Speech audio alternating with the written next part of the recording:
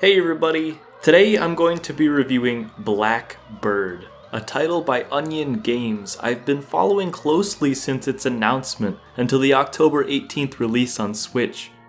I've been stoked to play and have put more than 30 hours into it at this point. So from here on, I'll be explaining just what makes this twisted little shoot 'em up so special. The story begins with a lethargic child that walks into an outside crowd. She's in dire need of care, and there's plenty of people around to help, but no one does. The tragic girl is ignored until she collapses and dies. Then, like a curse on humanity, the little girl transforms into a being of malice. She becomes the fabled Black Bird, a legendary calamity said to bring this world's kingdom to ruin. And that's exactly what you're tasked to do as the player take the reins of destruction and annihilate all in your path. This sad plot, the hapless girl that no one bothered to save, is stated to be a parallel in how we treat one another out in public every day. The indie game website posted an interview with mastermind Yoshiro Kimura discussing the idea that people, you and I, walk like robots in the big city. And it's true. The fast paced nature of our culture has us always absorbed in our own heads and problems, likely to turn a blind eye to others unless we're benefited. Kimura describes this city environment as being like a curse of its own, wherein mass amounts of people can only really work together when disaster strikes a shooting, an earthquake, the awakened black bird. Kimura questions why we can't cooperate before that happens. The connection and friendship that two people can feel, the bonding that makes us human, simply doesn't exist in an everyday crowd. Establishing at least a better relationship with the sea of faces we pass by each day. That's the moral this game proposes. However, humankind cannot learn a thing without physical consequence, and inflicting that is rather fun. So, as a collective karmic entity, we must cleanse the earth for a high score. Using our bird powers of what I imagine to be acid spit, bubbling and bursting opponents rack up the points as a battalion attempts to take you down. Like the wacky Million Onion Hotel that came before it, Black Bird is most certainly an arcade experience. However, it too has plenty of story nodes to uncover that keeps players like me invested. And that's crucial for the game's longevity. It's a world with lore to learn about and discuss. Unlocking these eerie cutscenes to learn what happens next makes the game worth revisiting. There's reason to keep practicing more than simply trying to dominate the scoreboard so you'll naturally get good at the game. And why would you want to get good at Blackbird?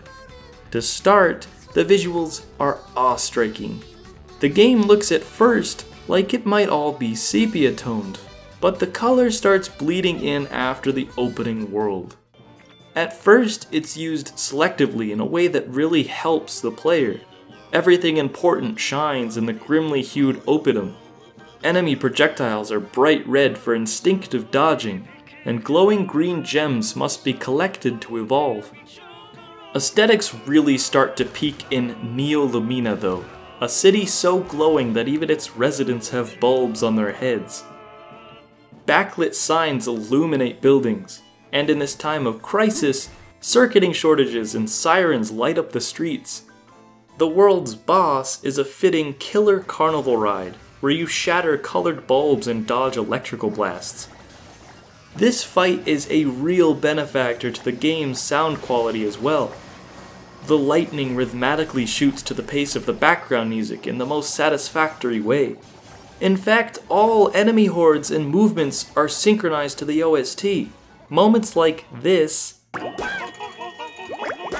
and the frantic to serene instrumental drop before the final boss are too memorable to forget. One of my favorite instances of creative sound effects is the very first boss, Balm Balm, a giant hot air balloon. With a deflation noise, he releases a barricade of smaller balloons as an attack. But after taking a beating, he pops to reveal a smaller, more buoyant form. In this second stage of the fight, the music's vocals raise in pitch, as if the singer had just inhaled helium. A layer of charm added on to an already funny face-off. But getting back to the gameplay functions, I mentioned earlier the importance of these soul gems dropped by all enemies. They allow the black bird to level up to a higher form and have an interesting mechanic attached to them. After defeating any enemy, their gem has to be collected quickly, as it starts bouncing vertically and gets a little smaller every time it hits the ground. The tinier it becomes, the less power it grants, a nice touch that adds loads of strategy.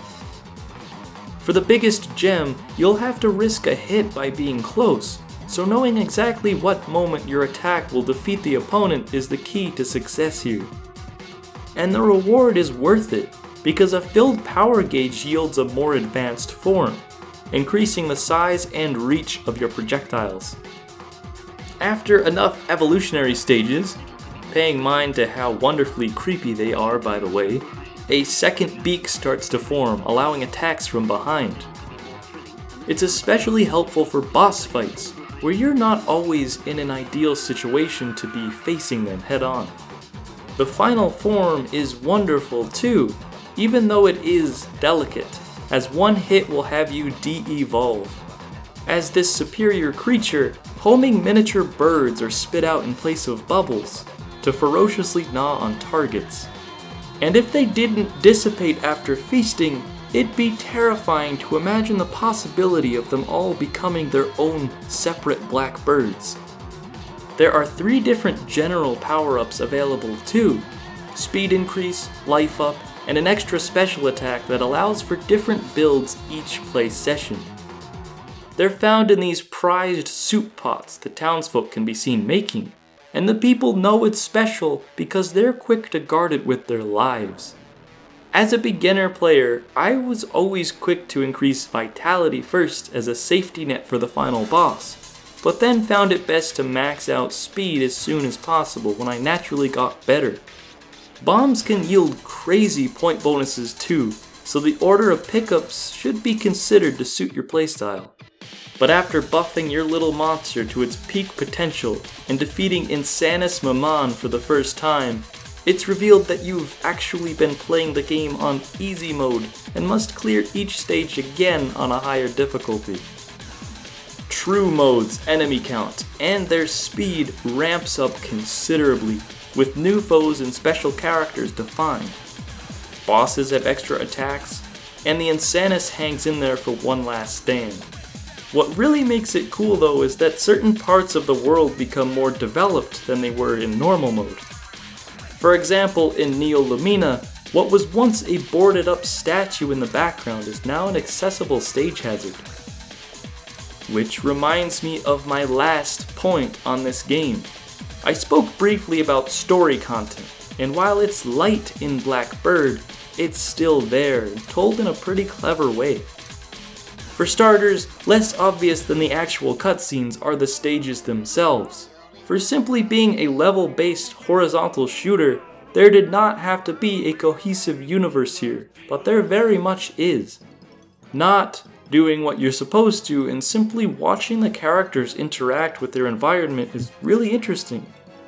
What caught my attention most of all is the interconnectivity, like this train from the third world that could be spotted in the second and fourth.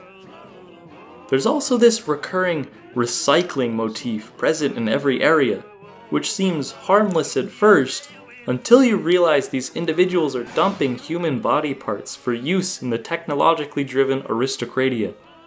The deceased are entirely disrespected too, with one inhabitant sipping wine on a pile of corpses.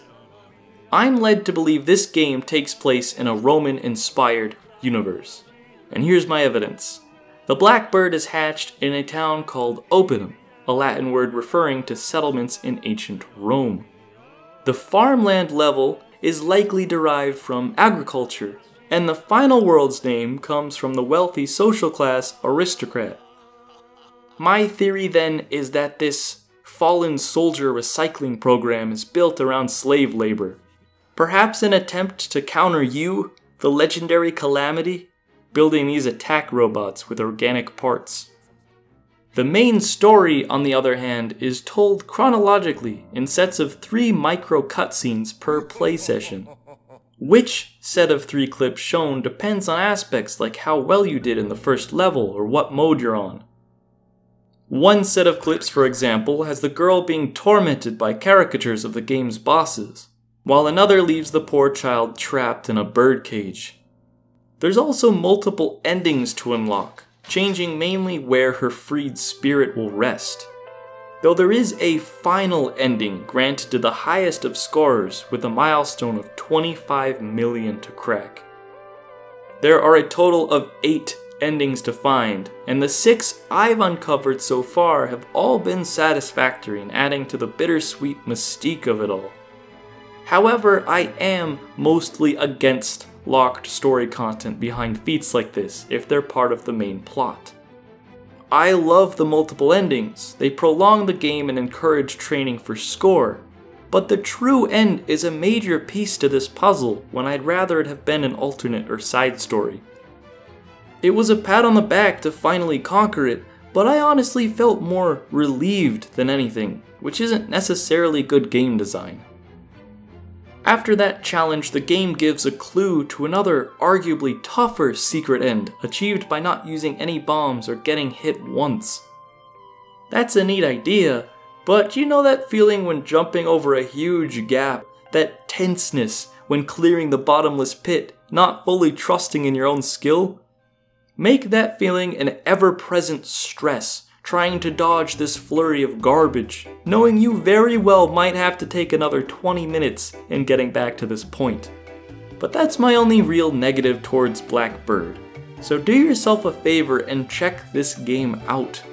It's frantic fun, easy to pick up on, and with practice you'll have the mechanics mastered. As I said earlier, there's incentive to go back beyond striving for the record. I've improved immensely since starting, and never thought I would beat true mode, but I did with practice. Both modes were a blast to get through, and I can see myself climbing even higher in the ranks with more time. I never scored anything on a video review before, but I'm gonna give Blackbird a 9 out of 10, missing one point only because that 25 million mark is a bit much for the average player that just wants to see all of the plot. It's doable, but it can absolutely be frustrating. Have you played Blackbird? Do you want to now? Let me know in the comments and we can help each other with tips and tricks. I'll give another. Don't forget your hit combo. Maxing it out before shooting targets like these windmills will grant you so, so many more points. Learn how bombs affect score too. I didn't find this out until later. But have fun Thank you for watching and I'll see you next time. Música